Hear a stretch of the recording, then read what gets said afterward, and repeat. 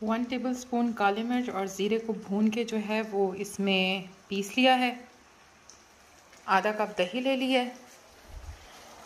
और यहाँ पर चिकन क्यूब्स में काट के और उसको जो है वो भून रहे हैं और लहसुन अदरक इसमें ऐड कर दिया है और लहसुन अदरक के साथ चिकन को भुनेंगे।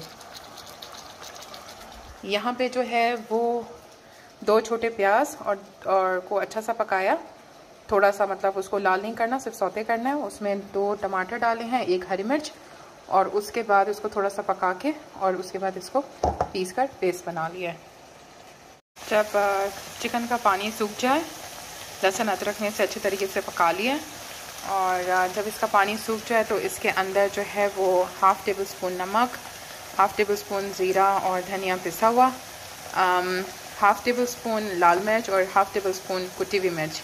ये सब मसाले इसमें डाल के इसको पकाएँगे।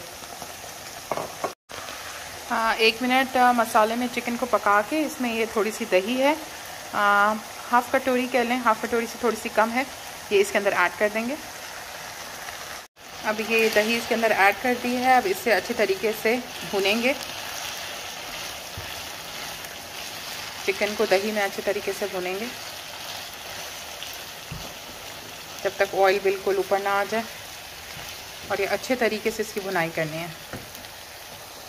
ये जो हमने काले मिर्च और ज़ीरा पीस के रखा था, इसमें से थोड़ा सा आधा लेंगे और इस वक्त इस मसाले के अंदर ऐड कर देंगे ताकि ये भी साथ में भून जाए।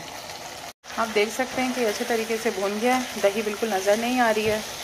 अच्छे तरीके से चिकन में दही की बुनाई हो गई है।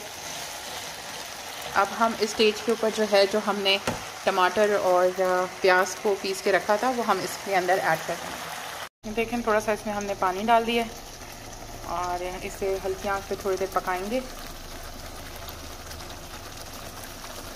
ताकि थोड़ा सा घी ऊपर आ जाए। इस स्टेज पे यहाँ पे थोड़ा सा मैं ऐड कर रही हूँ सूखी मेथी और थोड़ा सा गरम मसाला। और ये मैं ऐड कर रही हूँ थोड़ा सा गरम मसाला। तो क्रीम ये मैंने वन फोर्थ कप इसके अंदर ऐड कर दिया। थोड़ा सा टेस्ट कर लें कि मसाले में। लाइक अगर मसाला स्ट्रॉन्ग है तो थोड़ी सी क्रीम और ऐड कर लें। मैंने वन फोर्थ कप के करीब ऐड किया है और ये अच्छी सी ग्रेवी बन गई है। इसे हल्की आँच के ऊपर एक मिनट तक रखेंगे। मुझे क्रीम कम लग रही थी तो मैंने ये पूरी ही क्रीम यूज़ कर ली है 300 हंड्रेड uh, और ये जो काली मिर्च और ज़ीरे का मसाला था, ये थोड़ा सा मैंने ऊपर भी स्प्रेड कर दिया।